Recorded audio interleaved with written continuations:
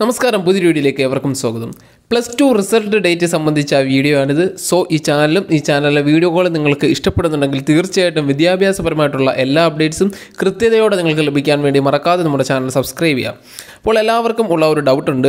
ഇപ്പോൾ വന്നിരിക്കുന്ന ജൂലൈ മുപ്പത്തി ഒന്നാം തീയതി പ്രഖ്യാപിക്കുമെന്ന് പറഞ്ഞിരിക്കുന്ന പ്ലസ് ടു റിസൾട്ട് കേരള സിലബസിന്റെ പ്ലസ് ടു റിസൾട്ട് അല്ല. മറിച്ച് അത് സി ബി എസ് സിയുടെ പ്ലസ് ടു റിസൾട്ട് വരുന്ന തീയതി സി ബി എസ് സി ഒഫീഷ്യലായിട്ട് അറിയിച്ചതാണ്.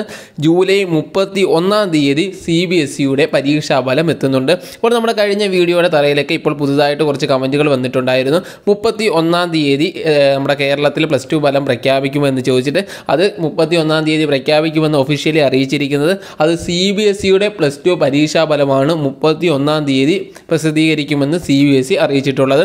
കേരള സിലബസിന്റെ പ്ലസ് ടു പരീക്ഷാ ഫലം മുൻപ് നമ്മൾ പറഞ്ഞതുപോലെ തന്നെ മുപ്പതാം തീയതിക്കോ അല്ലെങ്കിൽ മുപ്പതാം തീയതിക്ക് അടുത്തുള്ള ദിവസങ്ങളിൽ വരാനാണ് ചാൻസ്.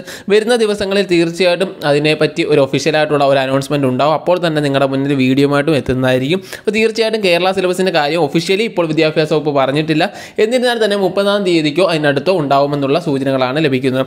ഗ്രേസ് മാർക്കിന്റെ കാര്യം കോടതിയുടെ വിധി ഇതുവരെ വന്നിട്ടില്ല. കോടതി അത് പരിഗണിക്കുന്ന മാറ്റി വെച്ചിട്ടുണ്ടായിരുന്നു. അതൊക്കെ നമ്മൾ റിപ്പോർട്ട് ചെയ്താണ് സോ അതിന്റേതായ തീരുമാനങ്ങൾ എത്തുമ്പോൾ തന്നെ നിങ്ങളുടെ മുന്നിലേക്ക് അതും എത്തിക്കുന്നതായിരിക്കും. അപ്പോൾ എല്ലാവർക്കും വിജയാശംസകൾ. ഗ്രേസ് മാർക്കിന് അർഹരായവർക്ക് അത് കിട്ടാനുള്ള സാധ്യത ഉണ്ട് എങ്കിൽ നിങ്ങൾക്ക് കിട്ടട്ടെ. അപ്പോൾ എല്ലാവർക്കും നല്ല രീതിയിലുള്ള മാർക്ക് പ്ലസ് ടു പരീക്ഷയിൽ കിട്ടട്ടെ എന്ന് ആശംസിക്കുന്നു. എല്ലാവർക്കും വേണ്ടി ജഗദീശ്വരനോട് പ്രാർത്ഥിച്ചുകൊണ്ട് ഈ വീഡിയോ നിർത്തുന്നു. പുതിയൊരു വീഡിയോയിൽ നമുക്ക് വീണ്ടും കണ്ടുമുട്ടാം.